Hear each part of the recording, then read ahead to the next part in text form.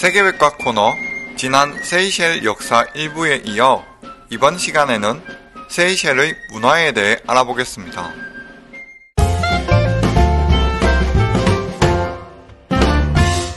세이셸에는 주변의 아름다운 섬에서 영감을 끌어내는 다양한 부류의 촉망받는 미술가들이 많이 있습니다.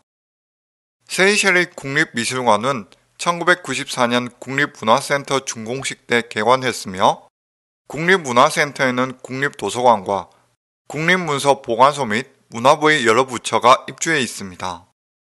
문화부 장관은 국립미술관 개관식 때 세이셸의 미술가, 화가, 조각가들이 작품을 전시할 수 있다는 것은 세이셸의 미술이 하나의 창의적인 표현 형식으로 발전해 왔음을 보여주는 일이라 천명하면서 세이셸의 현대미술에 대한 정부 입장을 표명했습니다.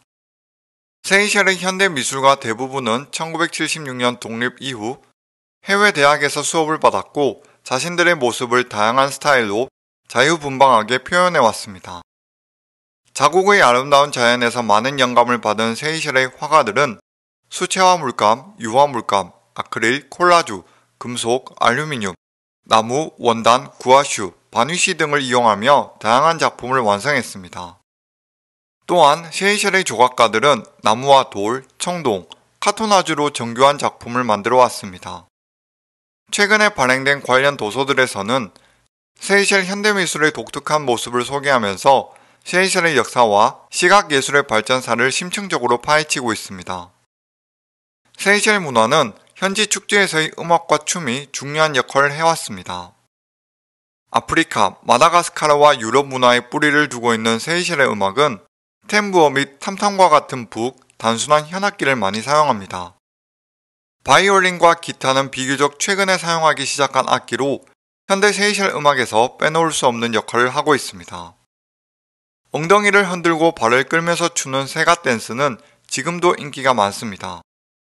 아프리카의 전통중 무티아와 비슷한 세가 댄스의 기원은 노예 제도가 성행했던 시대로 거슬러 올라가는데 자신들의 감정과 불만을 강렬하게 표현하기 위해 이 춤을 축원했습니다. 세이셸의 역사에서 유추할 수 있듯이 세이셸의 음악은 여러 문화들이 융합된 다양한 모습을 보여줍니다. 예를 들면 재즈와 봄 같은 아프리카의 리듬, 미적 특징과 악기 편성, 유럽의 콩트르당스, 폴카와 마주르카, 프랑스의 포크 음악과 팝송, 모리셔스와 레위니옹의 세가 댄스, 타랍, 수쿠스 및 기타 아프리카 전역에서 볼 수 있는 장르 음악 등이 혼재되어 있습니다. 해변의 시장에서는 무티아를 연주하면서 춤을 추는 모습을 흔히 볼 수 있는데 노래 가사는 불어를 기반으로 하는 세이셸 크레올어, 불어, 영어로 되어 있습니다.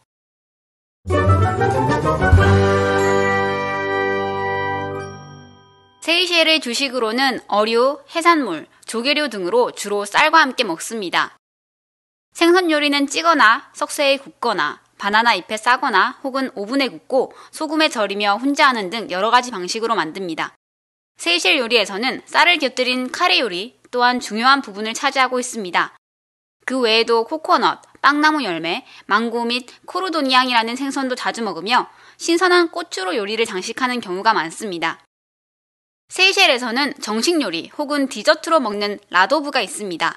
디저트인 경우에는 잘 익은 plantain 바나나와 고구마로 구성되어 있으며 오목한 그릇에다가 코코넛 밀크, 설탕, 넛맥 및 바닐라와 함께 과일이 물렁해지고 소스가 부드러워질 때까지 끓입니다. 라도브 정식 요리에서는 보통 소금에 절인 생선이 포함되고 plantain 바나나, 카사바 및 빵나무 열매와 함께 디저트를 만들 때처럼 요리하지만 설탕 대신에 소금을 사용합니다. shark chutney라 불리는 상어 요리는 껍질을 벗겨서 삶은 상어를 잘게 으깬 후 bilimbi즙 및 라임과 함께 조리하는데 양파와 향신료를 섞고 기름에 튀기는 방식입니다. 세이셸의 미디어 문화로는 주요 일간지로 Seychelles Nation이 있으며 주로 현지 정부의 입장과 현안을 다룹니다. 이외에도 각 정당들이 운영하는 신문사들이 있으며 외국의 신문과 잡지는 대부분의 상점과 신문 가판대에서 쉽게 구할 수 있습니다. 세이셸 방송공사에서 운영하는 주요 TV 및 라디오 방송에서는 세이셸 크레오로로 국내에서 제작된 뉴스와 자담 프로그램을 진행합니다. 세이셸 지역 TV에서는 외국에서 들여온 영어 불어 TV 프로그램도 방송하는데 최근 몇 년 동안 국제 위성 TV도 빠르게 성장하고 있습니다. 세이셸에서 가장 인기 있는 스포츠는 농구로 최근 10여 년 동안 대중적 인기가 크게 높아졌습니다. 2015년 세이셸 농구 국가대표팀은 아프리칸 게임 예선을 통과하여 이집트와 같은 아프리카 강팀들과 경쟁을 벌이기도 했습니다. 세이셸 사회는 기본적으로 모계 사회입니다. 집안일은 주로 여성들이 도맡아 하면서 대부분의 지출을 관리하고 자녀를 보살핍니다. 미혼모에 대한 사회적 편견이 없으며 남자들은 법에 따라 자녀를 부양해야 할 의무를 부담합니다. 가정을 꾸려나갈 수입을 책임져야 하는 부분에서 남자들의 역할이 중요하지만 집안에서의 역할은 상대적으로 크지 않습니다. 세이실에서는 2016년부터 동성애를 합법적으로 인정하면서 동성애 처벌을 금지하는 법안이 승인되었습니다.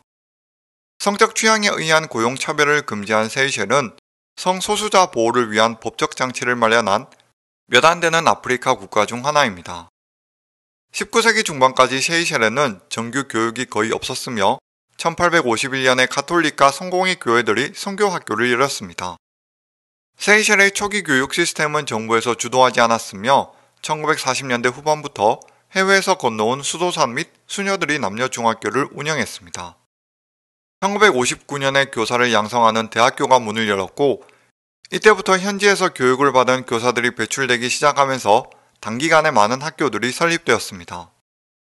1981년부터 무상교육 제도가 시행되어 5세부터 모든 어린이는 1학년부터 9학년까지 의무교육이며 어린이의 90%는 4세 때 보육원에 다닙니다. 세이셸의 취약 정년기 어린이의 문해율은 1980년대 후반까지 90% 이상 증가한 반면 당시 나이가 많은 대부분의 세이셸인들은 어린 시절에 읽거나 쓰는 법을 배운 적이 없었습니다. 이후 문해율이 60%인 어른들을 위한 교육 프로그램을 통해 2014년에는 문해율이 거의 100% 가까이 증가했습니다. 세이셸에는 총 68개의 학교가 있으며 공교육 체계는 23개의 어린이 놀이방, 25개의 초등학교 및 13개의 중학교로 구성되어 있습니다. 이들 학교는 마에, 프랑스랭, 라디그, 실루에트 등 주요 섬에 소재하고 있습니다. 또한 École Française 국제학교, 독립학교와 같은 사립학교도 있습니다. 사립학교들은 모두 마에 섬에 있으며 국제학교는 프랄린에 분교가 있습니다.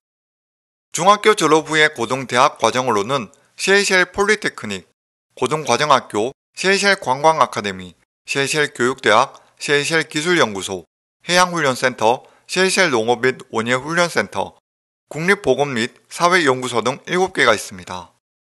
21세기에 접어들어 세이셸 정부는 우수한 인력이 유출되지 않도록 종합대학교 설립 계획을 발표했습니다. 2009년에는 런던 대학교와 함께 추진했던 세이셸 대학교가 세 곳에 들어섰고 졸업생들에게는 런던 대학교의 학위를 인정하고 있습니다.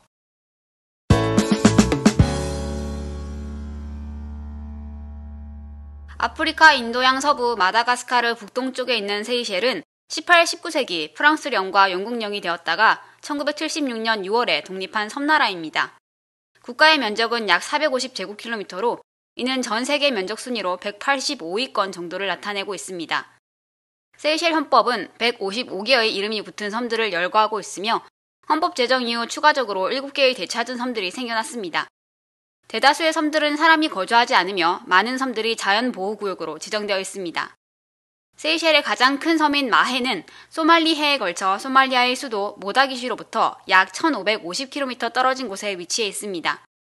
세이셸의 기후는 연중 평균 기온이 24도에서 31도 사이로 1년 내내 해변을 즐기기에 이상적인 날씨입니다. 4월부터 10월까지 건기로 여행하기 가장 좋으며 우기는 11월부터 다음해 3월, 가장 습한 기간은 1월과 2월입니다. 셰이셀은 영토의 42%를 보호구역으로 지정하며 멸종위기종 보호에 힘쓰고 있는 전 세계 주요 국가들 중 하나입니다. 다른 국가들의 취약한 섬 생태계들과 마찬가지로 원래 무인도였던 세이셸에 인간들이 정착함에 따라 다양한 종류의 동물들이 멸종하였습니다. 섬에서 사라진 자이언트 거북들, 해안과 무분별한 숲의 벌목, 동박새, 세이셸 앵무새, 바다악어 같은 종들의 멸종을 포함해 생물 다양성의 훼손이 나타났습니다. 하지만 세이셸의 멸종은 모리셔스나 하와이 같은 섬들에 비해서는 상대적으로 훨씬 적은 편이었습니다. 이에 대한 일부 요인으로는 식민지 개척자들의 짧은 점령 기간 때문이라고 분석되고 있는데 현대시대의 세이셸에서는 식물과 동물종을 보호하는 데 있어 성공적인 성과를 내고 있는 것으로 알려져 있습니다. 특히 희귀한 세이셸 검은 앵무새는 나라의 국조로서 보호받고 있습니다. 참개속 중 하나인 세이셸 욤은 세이셸에 서식하는 토종 참개이며 또 다른 26종의 민물개들과 5종의 소라개들이 섬에서 살고 있습니다. 현재 세이셸의 많은 섬들에는 알다브라 자이언트 거북이 서식하고 있으며 이러한 토종 파충류들은 사육장에서도 볼 수 있습니다. 세이셸은 약 75개 토종 식물 정도의 서식지인데 그 중에서도 특히 오직 두 군데 섬에서만 자라는 야자나무가 있습니다. 프랄린 섬과 큐리어스 섬에서만 자라는 야자나무, coco de mer는 양쪽이 붙어 있는 코코넛 형태가 둔부를 닮았기 때문에 간혹 사랑의 여신이라는 별칭으로도 불리며 세계에서 가장 무거운 씨앗을 생산합니다.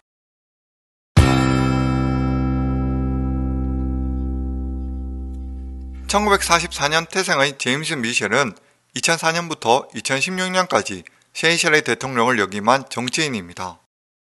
과거에 그는 1996년부터 2004년까지 집권한 전임 대통령이었던 프랑스 알베르 르네의 부통령이었습니다.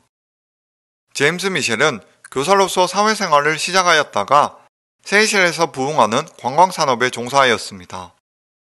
그 후 1970년대 중반 정치계에 입문하여 1976년 세이셸이 영국으로부터 독립하기 전에 르네가 이끄는 세이셸 인민연합당에 입당하였습니다. 미셸은 독립적 국가로서 세이셸 역사의 모든 기간 동안 여러 정치 요직에 있으면서 르네 대통령과 같은 길을 걸었는데 그는 1974년부터 1977년까지 세이셸 인민통합당 집행위원회의 위원이었습니다. 이후 당이 세이셸 인민진보전선으로 변모했을 때 그는 중앙집행위원회의 일원이 되었습니다. 프랑스 알베르 르네는 독립 이후 1년 만에 세이셸의 제1대 대통령이었던 제임스 만찬을 상대로 쿠데타를 일으켰으며 이에 미셸은 1977년 행정정보부 장관으로 임명되었습니다. 그는 1977년부터 1993년 사회주의 일당 체제 동안 다양한 집권당과 부처에서 요직을 맡았으며 1989년부터 2006년까지 재무부 장관을 역임했습니다. 1984년 미셸은 세이셸 인민진보전선의 부총재가 되었고 1994년에는 총재로 임명되었습니다. 르네 대통령의 통치 기간 동안 미셸은 여러 차례 세이셸 경제를 이끌었습니다. 르네의 27년간의 통치 기간 동안 세이셸의 흐름은 초기에는 관광과 어업 부문을 기반으로 경제 성장 기간을 경험하였고 이후 1990년대의 침체기를 겪게 됩니다. 2008년부터 미셸은 거시경제 기억 프로그램을 주관하였으며 재정적자의 막대한 감소와 외환 거래의 완전한 자유화를 이끌어냅니다. 또한 미셸은 1993년 다당제 선거로 시작된 국가의 민주화 과정에서 중요한 역할을 했습니다. 이후부터 모든 선거들이 국제 참관단에 의해 자유롭고 공정한 것으로 인정되었갔지만 세이셸의 정부 야당에 따르면 세이셸은 여전히 제한된 언론의 자유와 투명성 그리고 부정선거를 겪고 있다고 주장합니다. 미셸은 2016년 정치 일선에서 은퇴한 후 청색 경제와 기후변화에 초점을 맞춘 프로젝트들의 자금과 지원을 제공하기 위한 제임스 미셸 재단을 설립했습니다. 오늘은 재생 목록 세계백과 코너 세이셸 2부 문화와 자연환경, 세이셸의 유명 인물까지 정리해보았습니다. 그럼 끝까지 시청해주셔서 감사드리며 행복한 하루 보내시길 바랍니다.